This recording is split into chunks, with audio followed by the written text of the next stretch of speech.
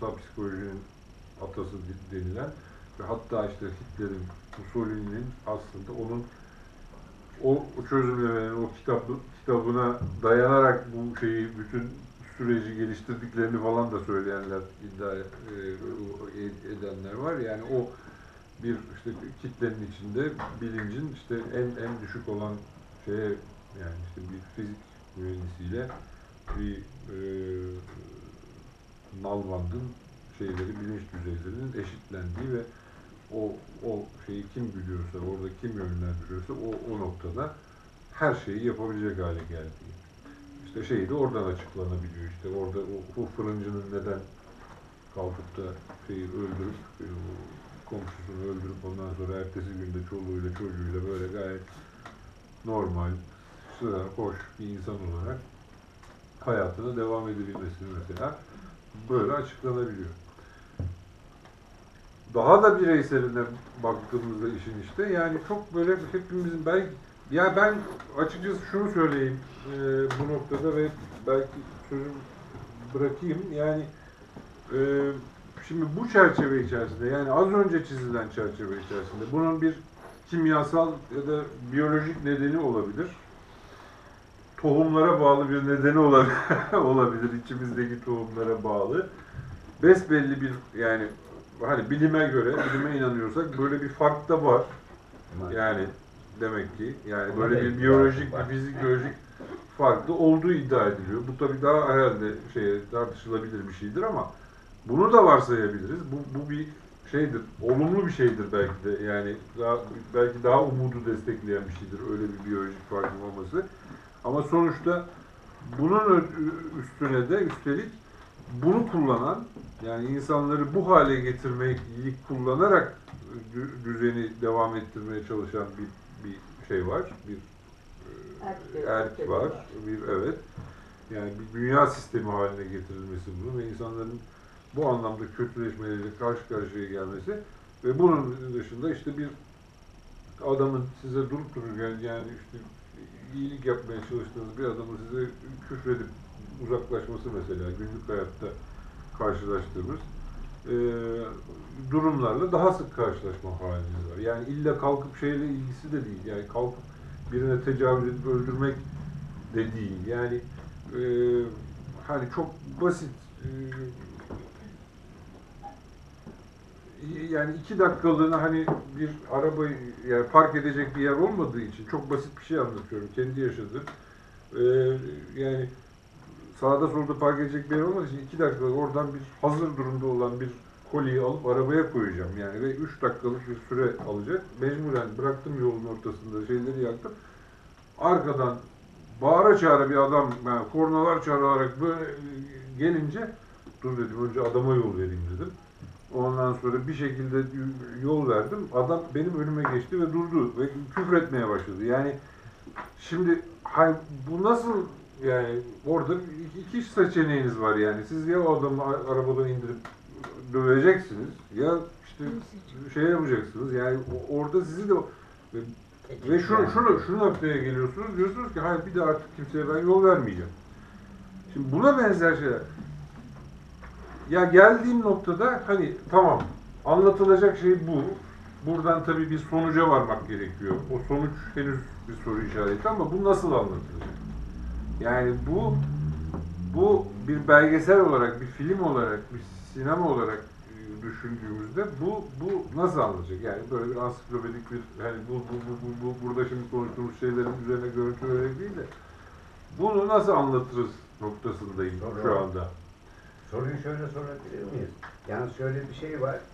Yaklaşık bir 20-25 dakikamız var. Yani hani bizi kovalayan yok ama hı hı. ortalama olarak 11 gibi dağılıyoruz. İsteyen kalabilir. Onlar Müsaade isteyip kaçabilir miyiz? Ama gitmeden bir şeyler söyler misiniz bu konuda? Yakalamışken. Üstelik Madem bileceksiniz söyleyeyim öyle. Yani medya çalış medya çalışmaları falan derken yani. Başka zamanda medyadan konuşuruz. ben bir şey söyleyebilirim. Ee, yani yeni bir sosyolojik zamana giriyoruz. Adı da popülizm. Ee, Müller'in bir What is Popülizm diye yeni bir kitabı var yani okudunuz mu bilmiyorum.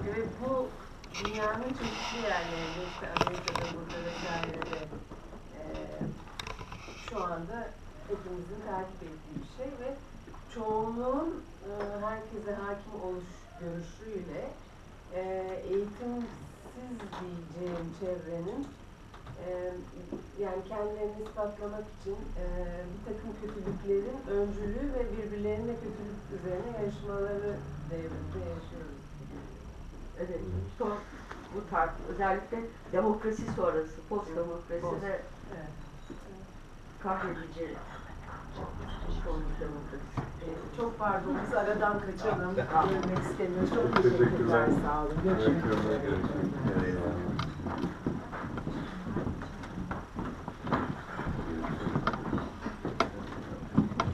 Yani bilemiyorum şimdi hani sen istersen şey yap. Yani buradan belki şeyler olabilir. Şöyle yani herkesin kafasında bir şey olabilir. Şöyle hayal yaşadığı bir şey olabilir, bir deneyim. İstersen şöyle bir hayal kuralım. Yalnız tabii ha, benim uyarım bir de yani olabildiği kadar e, herkesin öz konuşmasını rica edeceğim. E, herkes konuşmak isteyen insan diğer arkadaşlarımıza da düşsün diye. Yani şöyle bir soru soralım. Yani mesela siz e, kötülüğün filmini yapmak isteseniz neyi anlatırsınız? Sorsak da olur daha mı doğru olur? İşte ben de onu soracaktım. Kötülüğün tarifini yani Tarifinden çok Hani kötü hangi, hangi bir sürü kavram yani? da bir tarif koyup ona göre yani kendi açınızdan Benim açımdan yani kötülüğün en önemli şeyi e, yani ölçüsü mü diyeyim, e, şeyi mi diyeyim? çok yani be, şey. e, e, yani karşında empati yapamama hali, yapmama hali. Yani karşındakini hiçbir şekilde Anlamam. onu an- anlamaya çalışmama, onun şey durumunu paylaşmama, Kendini Ve- onun yerine koymam. kendini onun yerine koymama hali bir kere e, hani bu çok sıradan kötülüğün bence en önemli şeylerinden bir tanesi. Bu yani günlük hayattaki şeyin bence en önemli e, belir belir göstergesi değil. Yani bu çünkü bir neden değil. Yani eğer bu bu geçmiş içerisinde bu bu kalıp içerisinde hani kötülüğü tarif ediyorsak ve e, bu bir neden değil bir sonuç yani e, insanların ya da işte o biyolojik bir sebep. biyolojik Yok, olarak bunu yapamıyor da olabilirler. O çok önemli aslında. Hani o beyin tomografilerinde çıkan netice bir yerde şeyi de destekliyor. Labrozzo'yu da destekliyor aslında. Hani doğuştan suçlu insan vardır ya. Doğuştan kötülüğe meyilli diye şey yapalım. Hani bu çok tartışılma tartışma konusu aslında. O yüzden hani o e, beyin beyin neticeleri e, çok önemli. Ama Yani öbür, beyin- taraf, öbür taraftan da o bilim adamının yani o filmde anlatılan bilim adamının e, durumu da aslında bunun doğru olmadığını söylüyor. Yani bir yani doğuştan böyle bir bozukluk olabilir ama bu o insanın mutlaka kötü olacağı, katil olacağı anlamına gelmiyor. Eğer doğru bir ortamda yaşamış, büyümüş, doğru bir eğitim ve sosyal çevre içerisinde yürümüşse bu adam olmak zorunda değil diyor. Ama neticede bizim yaşa yani şu anda daha fazla insan daha fazla kötü e, şeyi yarat yani daha kötü e, bir sosyal çevre ve e, işte bir O biçimde zaman tetiklenebileceği durumlarda yaşıyor. Evet. Bu aslında hakikaten uzun bir tartışma. Bu düzeyde tartışmaktan yana değilim. Yok. Yani çünkü diyelim ki büyük beyinli insanlar olsaylar, diyelim yani daha örneği kabalaştırmak için söylüyorum. Büyük beyinli olmak hani bir zeka belirtisi ise ve bütün bu insanlar, katil olan insanlar büyük beyinli ise yani mesela Troçki de büyük beyinli yani. Orayı da bağladık. Hayır yani böyle bir mantık bu yanlış bir mantık yani onun için söylüyorum. Yani Bu konuda bir şey söyleyebilirim. bir tamam değil mi? Tamam. Ee, yani çünkü belirli bir belirti varsa o belirti çok çeşitli insanlarda olabilir. Katil olan insanlarda da o belirtinin olması belki zeka belirtisi, zekanın ifadesi, katilliğin ifadesi değil ki. Ya da e, bu tür insanlarda genellikle şeye rastlanıyor, duygu zekasının çok yüksek olmasına rast gibi bir özelliğe de rastlanıyor. Dolayısıyla duygu zekasının yüksek olması bir insanı katil de yapabilir. Duygu zekası yüksek olduğunda negatif ya da pozitif sonuçlar verebilir. Yani bütün katillerin duygu zekası yüksek dolayısıyla duygu, zekası yüksek olanlar katil olabilir ya da katillik potansiyelini taşır diye bir şey yok. Bir mantık yürütülemez ki. Dolayısıyla bu bana çok hani tırnak içinde birebir değil ama böyle kafa tasçı bir mantık gibi geliyor yani. O mantık. Yani kafa tasçı değil ama o mantık. Tabii bir mutlak şey olarak kabul edersen öyle. Dolayısıyla bunun üzerinden kötülüğü tartışmak hiç akıl kârı değil yani. Evet. Evet.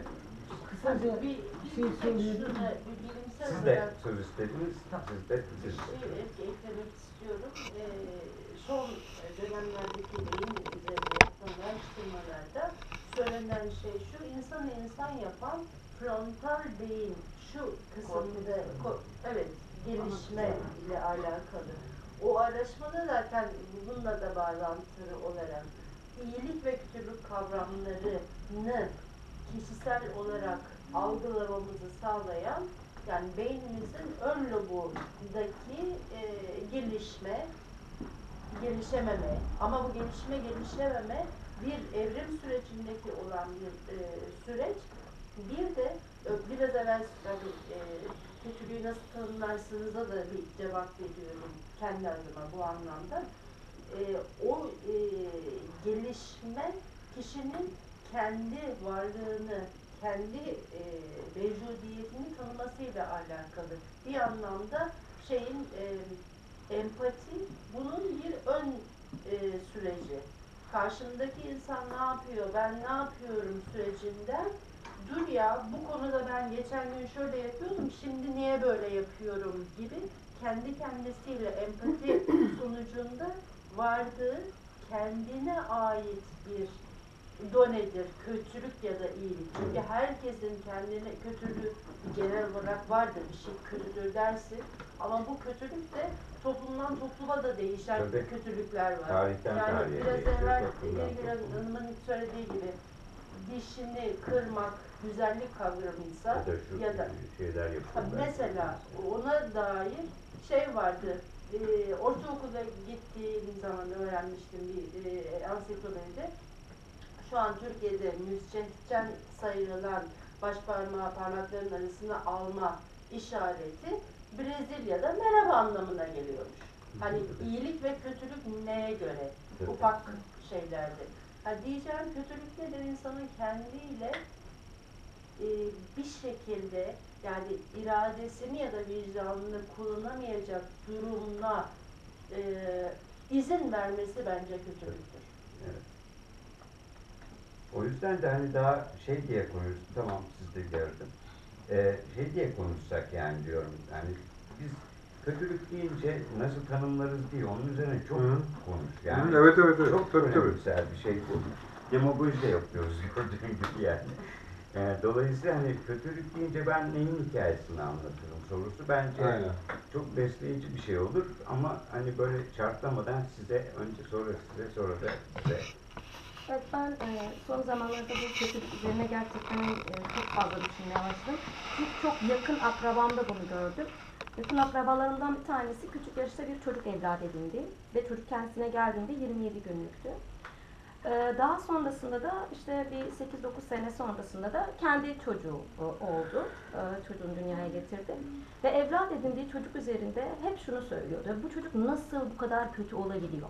Şimdi kendi çocuğuna baktığımızda ve evlat edindiği çocuğa baktığımızda şunu görüyoruz.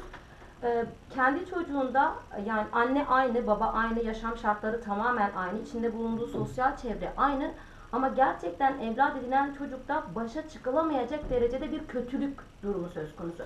Çok rahat bir şekilde hayvanlara zarar verebiliyor, çok rahat bir şekilde başka insanlara zarar verebiliyor. Çok rahat yalan söyleyebiliyor ve ailesinde hiçbir şekilde böyle bir şey yok. Hani an- parmakla gösterilen ve gerçekten toplum tarafından çok sevilen ve kabul gören bir aile. Yani hani dönüp de buna baktığımda ben de son zamanlarda bunu çok irdeler oldum. Gerçekten bu genetik kökenli mi acaba yoksa sosyal çevreden kaynaklı mı? Peki sosyal çevreden kaynaklıysa iki şart altı ikisinin de aynı şartlar altında yetişen bir çocuğun bir tanesi ne kadar farklı? Neden bu kadar farklı?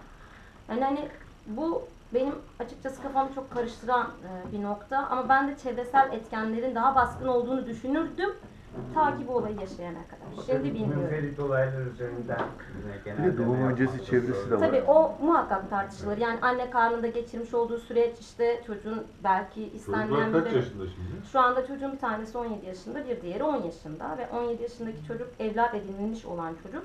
Ee, ama tabii ki o kötü diye annesinin nitelendirdiği yaş grubu ta işte kend- artık kendisini ifade etmeye başladığı andan itibaren başlayan bir süreçti. Evlatlık olduğunu Evet, biliyorum. evlatlık olduğunu ya zaten hep bu psikologlarla falan sürekli desteklenerek büyüdü bu çocuk. Ee, ve hala şu anda işte ikinci annesini de kaybetmiş durumda. Ee, yani yakın akrabam olan kişi de kanserden kaybettik. Ee, şu anda 17 yaşındaki çocuğa hiçbir şekilde ulaşamıyoruz ve çocuk hani tamamen aileden kopmuş durumda. Nasıl ulaşacağımızı hiçbir şekilde bilmiyoruz ve çok büyük bir sorun var. Evet, maalesef. Evet, aile ilgili yani. Ben şeyi soracaktım size yani eğer kötülüğü genetiğe ya da beyinsel e, takım faktörlere bağlarsak eğer o zaman yani bana da kafatasçı gibi geliyor. Hani tecavüz eden adam diyebilir ki ben erkeğim öyle yani dayanamıyorum diyebilir. İşte yani Naziler bir şeyler yaparken ırk teorisiyle açıklayabilir. Hani bunu tamamen bedensel şeylere bağlarsak o zaman Evet, insanların düşünsel ya da işte hayatta ilişkilerine nasıl bakmamız Tabii. gerekir? Yani kültürel gelenekler, toplumsal, yani işin sosyolojisi falan. Yani o açıdan yani çok e, spekülasyona da açık bir tartışma ama tabii genel olarak bunu hakikaten bir kere sisteme yani kötülük hiç, ol, hiç belki yok edilemeyebilir kötülük dediğim şey ama yani sistemde doğrudan doğruya e, doğrudan doğruya bir ilişkisi olduğu açık yani. O sizin dediğiniz o çok kötü çocuk diyelim ki belli bir sistem içinde farklı bir biçimde eğitilebilir, farklı bir biçimde kontrol altına alınabilir ya da belli bir sistemde parmakla gösterilecek örneklerden olur en fazla yani. Bunun böyle bir toplumsal hale gelmesi Evet. E, O konuda- genetikle falan açıklanacak ya da beyin tom, tomografileriyle falan Hı. açıklanacak bir şey Bir değil şey yani. daha söyleyeceğim. Sizin söylediğinize çok katılıyorum. Tabii ki farklı ortamlar içerisinde çocuklarda farklı davranış özellikleri